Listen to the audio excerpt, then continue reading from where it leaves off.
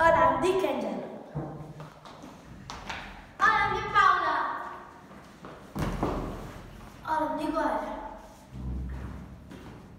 di Bianca. Önemli Gabriel.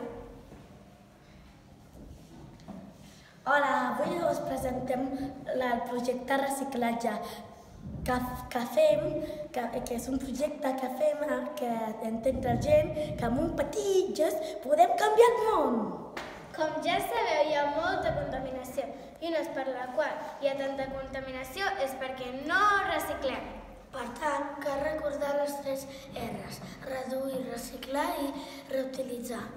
Hi ha moltíssimes maneres de reduir la contaminació i una d'elles és reutilitzar les coses abans de llançar-les i buscar un nou ús per elles.